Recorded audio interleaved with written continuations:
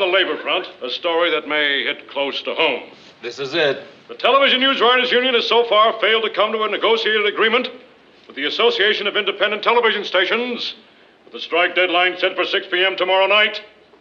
A news writer walkout appears to be a distinct possibility. I'm surprised he can read the copy with my tear stains all over it. I'll be back tomorrow with the news. Or without the news if we go on strike. Murray, if you guys go on strike, I think we'll be able to muddle through without you. Sure you will, Lou. Ted is able to muddle through even when we're here. Hey, you, you're both talking as though there's definitely going to be a strike, and you don't know that for sure. Uh, Do you? You never can tell. Don't forget that big television strike in 61. And that one lasted four months. My picket sign turned yellow. Well, another big hour put to bed. Well, you put your audience there anyway. Hey, Murray, what's the latest on the strike, man? Uh, strike? What strike? Ted, you just read about it on the air. Oh, really? I wasn't listening. The news writers, Ted, they're probably going to go on strike. Hey, Gordy, you don't really think there'll be a strike, do you? Well, I sure hope not. Why? That's not your union. Yes, it is. I write my own weather reports. You see, Gordo, that's a mistake I never make. I never write anything. Nobody here's seen me write anything, have they? You don't hear many people bragging about being illiterate. Hi, everybody. Oh, hey, Al, have you heard anything about the strike? heard anything. That's all I've heard all day long. I'm on a negotiating committee and I just got out. So what did you hear? I don't know. It's too close to me. Have you guys heard any rumors? Oh, not in the last five minutes. Boy, it's sure a bad time for us to think about striking. Why's that? Because it's snowing outside and I don't like to pick it in slush. Snowing? Yeah, it's really coming down. Mary, see you in a minute. Coming, Mr. Grant. You know, Mary, I don't care what anybody says. I predict there's going to be a settlement. There, you see, you guys, it's, I'm trying to tell you, Gordy knows what he's talking about. Of course, I'm the guy that predicted fair and warmer today, too. Yes, sir. Sit down, Mary. You know what we are? Well, we're, uh, we're, uh... Management. When there's a strike, management is expected to report to work. Then, then you do think there'll be a strike, huh? I'm not saying that. But I remember the first time I had to cross a picket line. Like you're going to. Soon. I felt rotten. They were all my friends. Guys I'd spent long hours with. They were booing me. Swearing at me. I had to do it. Was that the big television strike in 61? No, that was a big bartender strike in 59.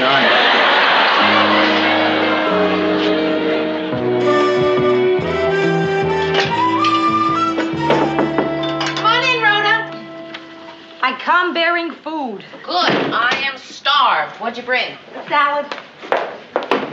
Rhoda, you distinctly said that you were bringing leftovers. That's what was left over. All we got is two salads, huh?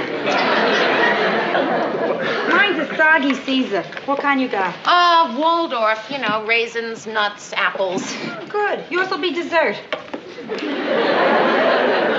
Hey, Mare, I see where there's going to be a strike down at your station. No, no, it's, it's not definite. It's more definite than you think. I was down picking up window display cards at the sign shop, and uh, they were working on the picket signs.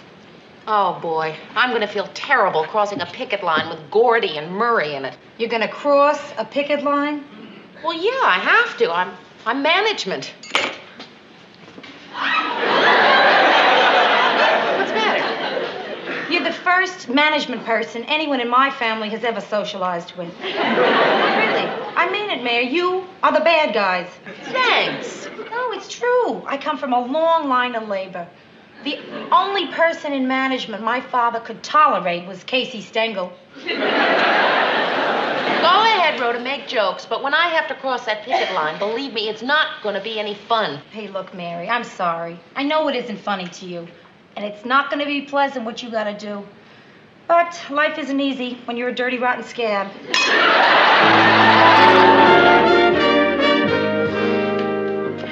Well, Well, wouldn't you think we'd have heard by now if the strike was on or off? It's on, Mary. I know it's on. There's no use kidding ourselves. I mean, I've been through this before, and I know what it's like. In fact, I'm glad I was in that big strike in 61. But now, I don't care if there's a strike or not. This time, I am prepared. We're on strike. No, no. What am I going to do? Mary, look, I have house payments. The kid needs braces. I just bought a new car. I don't know what I'm going to do. A long strike will wipe me out. Oh, Murray, I'm sure it won't be a long one. Hi, guys. What's happening? They're on strike. Here's the wire story. Why are we always the heavies? It's always management's offers, but unions demand. Don't worry about the weather, Gordo. I'll cover that base for you. Ted, how are you going to know what the weather's going to be? You'll tell me. I'll be picketing outside. Well, that's perfect. You know exactly what the weather's like. Oh, you're a happy man, aren't you, Ted? For uh, sure. I'm not going to be out of a job like. I mean. We want you to know that we in management wish you fellas the best of luck. Right, Lou? Ted, you're not management. What am I then? You want to take it, Lou? Nah, it's too easy. Ted, what are you doing standing around here? You're on the air in 10 seconds. Never fear, Lewis. When you've been doing this as long as I have, you learn to play it right down to the wire.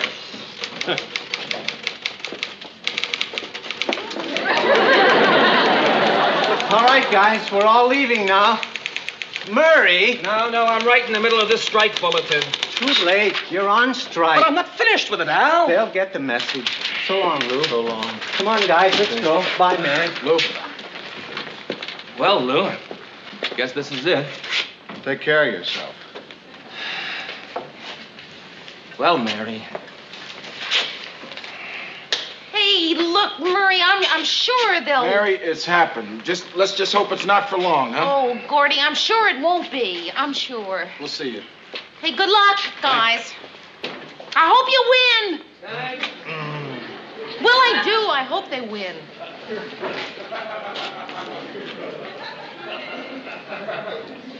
Well, here we are. The 6 o'clock news team. Plus, Ted. I've just been handed this bulletin. Here in the Twin Cities, negotiations broke down between the Association of Independent Television Stations and the television news writers. The strike is now official, having begun just moments ago. Though union leaders are meeting at this moment with representatives of.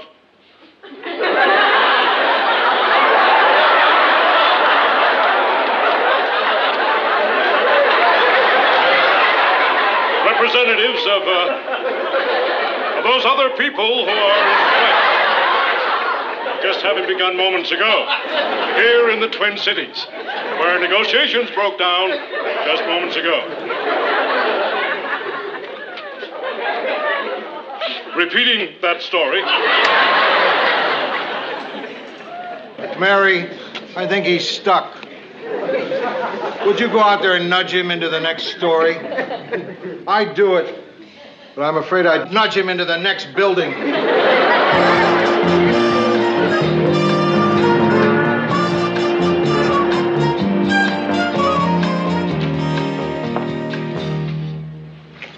What do you say, management? Well, you were right, Mr. Grant. You said crossing a picket line wasn't going to be any fun. They give you a hard time? Well, I started to cross the picket line, and some guy from another station started to make a couple smart remarks. So Gordy told him to shut up, and he wouldn't. So uh, Gordy went after him, and uh, hmm. well, I just wanted to prepare you. Prepare me for what? Well, when Gordy went after him, he handed me his picket sign. So? So there was a newspaper photographer there, and uh, there may be a shot of me in tomorrow's paper holding a sign that says, You stink.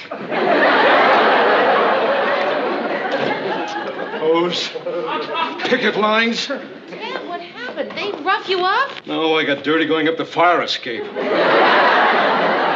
You climbed nine floors up the fire escape? Ten, really. I lost count and overshot. I'm not looking forward to that trip down, I can tell you that. Well, Ted, look at it this way. On your way down, there's very little chance that you can overshoot the ground floor. I don't know, it'll be pretty dark out there. Well, say, Lewis, about the show tonight. I'd just soon not wing it again. Uh, are you going to write the news? No, Mary is. I am? Oh, really? How great for you. What a terrific opportunity. I just know you're going to do a crackerjack job.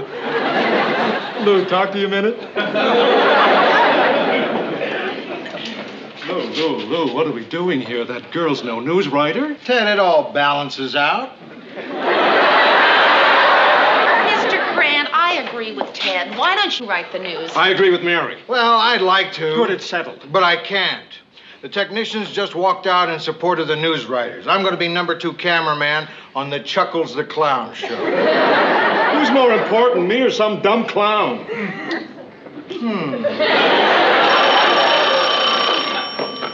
Newsroom? Yes? They did? Oh, wow. Yes, yes, I'll tell him. Thank you.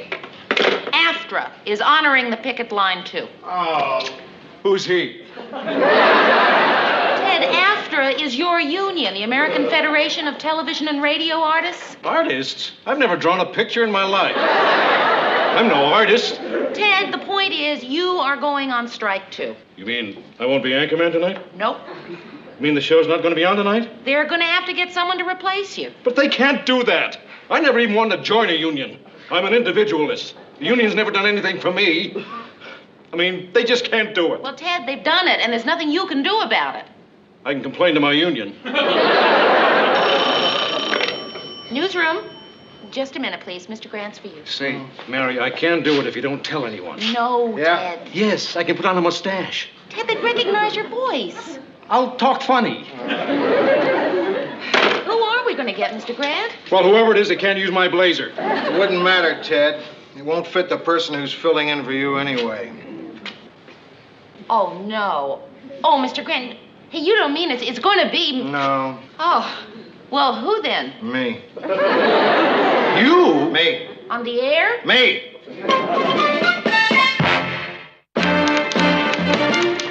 The measure to lower the legal drinking age is now before the legislature, where the 18 year old bill is not expected to pass.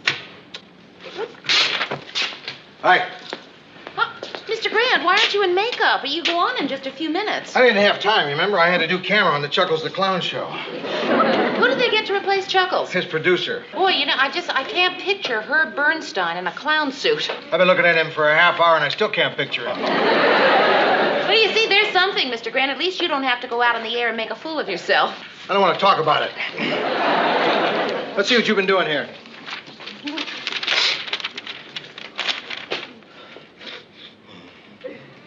Mr. Grant, are you a little bit nervous? No, what?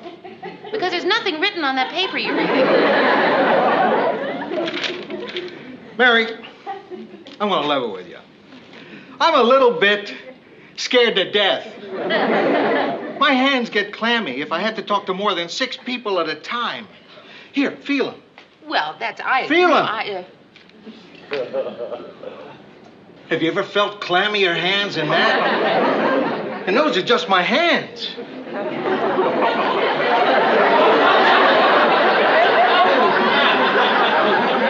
Can you imagine what the rest of me is like? I'm just one big walking clam. I don't want to talk about it. Let's go over this. uh, some of it might need a little punching up, but uh, you know, I think on the whole you'll find it pretty readable. This isn't a story. It's the world's longest sentence. Doesn't that typewriter have any periods? We, you think it's a little long? The wind and water swept victims of the tidal wave looked stoically upon the flooded remains of their town and stood in silent awe at nature's rage as the evacuation continued with local schoolhouses used as Red Cross centers. Well, I was just trying to make it interesting. Mary, a tidal wave is pretty interesting all by itself. It doesn't need your help. That was my best story. Your best story? Oh, my hair just went clammy. The measure to lower the legal drinking age is now before the legislature, where the 18 year old bill is not expected to pass. Ah, that's all wrong. It sounds like the bill is 18 years old. Well, I'm doing the best I can. Oh, boy. That's all I need. One great thing about Murray I could yell at him, but he never cried on me. Hey, Lou. Eh? Come on, hurry up, will you? You're on the air in a minute. Hey, Herb, why don't you do the news for me? No chance, Lou. I'm already doing four shows. Mr. Grant, you're going to be just fine, just fine. Just Yeah. Go in there and be natural and uh, remember to smile. You can't have both things, Mary. Look, I'll have that legislature story for you before the end of the show. I'll never make it to the end of the show. Mr. Grant, your news. Oh.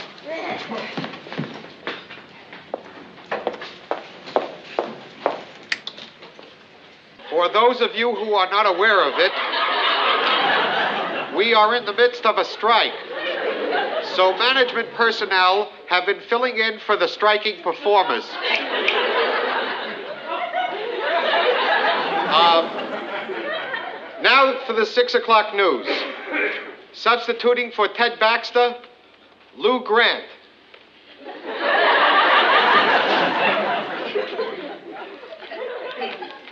Good evening, ladies and gentlemen. This is Lou Grant with the 6 o'clock news. The news headlines tonight. Lawmakers in St. Paul tonight oppose a long debate debated tax. Majority Leader Kenneth Olson says that he has a necessary vote. Carry the most comprehensive tax reform. 40 years. Governor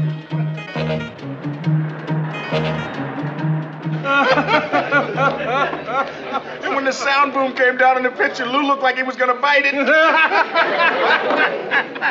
His hand was shaking so hard.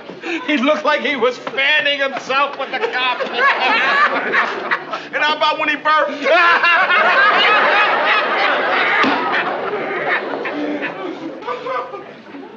Two scotches, Harry. Mary, you want anything?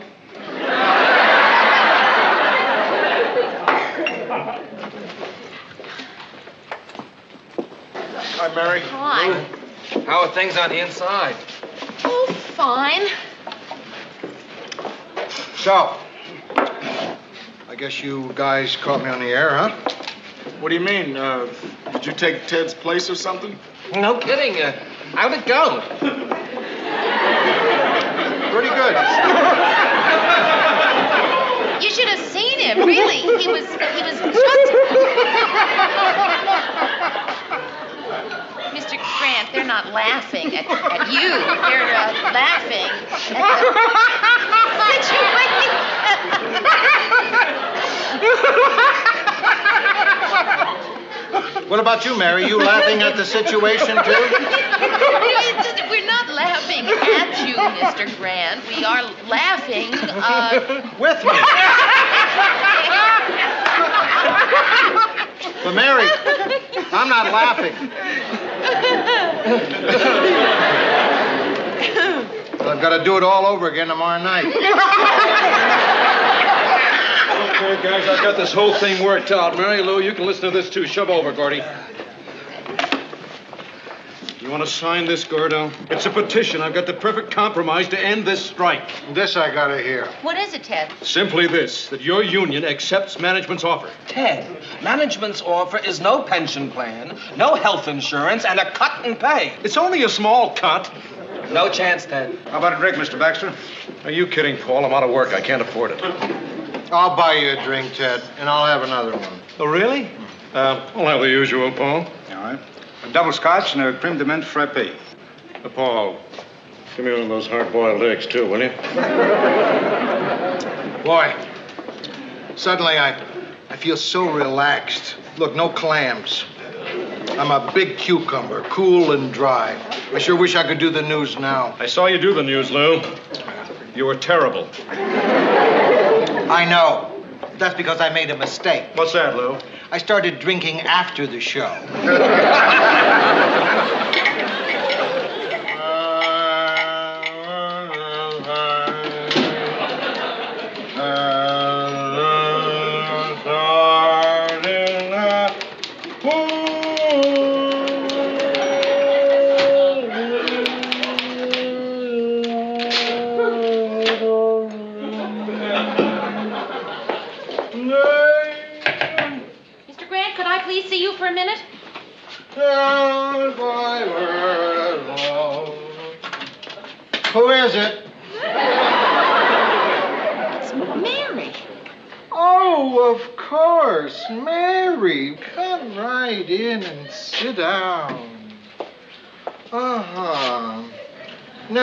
is it you want, Mary?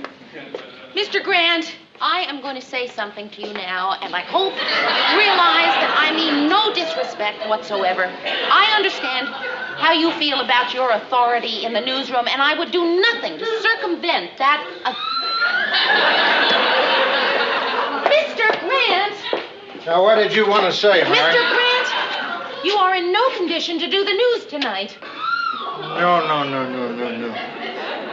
I was in no condition to do the news last night. But tonight, tonight, I'm beautiful.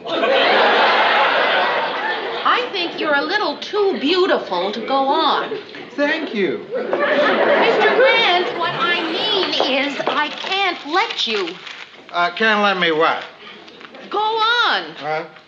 Due to the fact that you are not in possession of your faculties, I am taking charge of the newsroom. As long as you're in charge, would you help me on with my coat? Mr. Grant! Thank you. Look, Mr. Grant, you could lose your job. I am very sorry, but I cannot let you pass.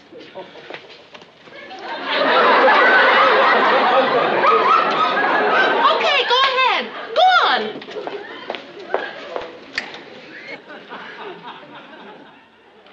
Good evening, ladies and gentlemen. This is Lou Grant with the Six O'Clock News. Quints were born in Caracas, Venezuela.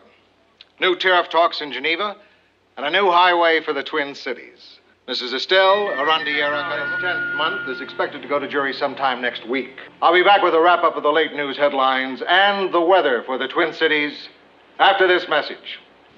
Blast is my secret. How am I doing? Mr. Grant, just great. Uh, you're so cool and professional. Thank you. Where, where are you going? I'm going in to get a little more professional. Well, uh, listen, Mr. Grant, let me uh, uh, fix a cup of coffee. How about that? Mr. Grant, you know you, you've only got about 30 seconds. I tell all my neighbors. Uh, Mr. Grant, you better hurry up. Mr. Grant, you want to wake up? This is Herb Bernstein, uh, uh, substituting for Lou Grant. Substituting for Ted Baxter and the news. The news isn't too bad tonight. Drink it, Mr. Grant. It'll, it'll make you feel better. I, uh, Lou, Mary, have you heard the news? The strike is over. Oh, that's terrific, Mr. Grant. Did you hear I that? heard, I heard. Boy, I, I feel so good, I think I'll celebrate. Harry, drinks for everyone on me. Oh, wow. Isn't that terrific? I can't believe it. Hey, we got it. Harry!